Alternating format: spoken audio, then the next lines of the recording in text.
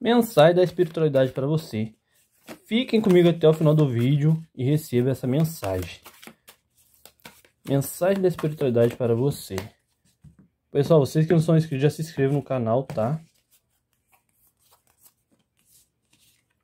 Confiança. Relâmpago. Olha só, essas três cartas aqui. Olha, pessoal, tô até arrepiando aqui, tá? É muito forte. Essas três cartas aqui já dizem muita coisa para vocês, tá?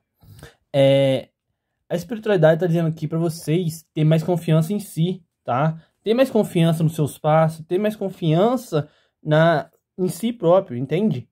Se você anda, se você é uma pessoa assim que não tem confiança em si próprio, torna as coisas mais difíceis, entende? Torna as coisas mais demoradas.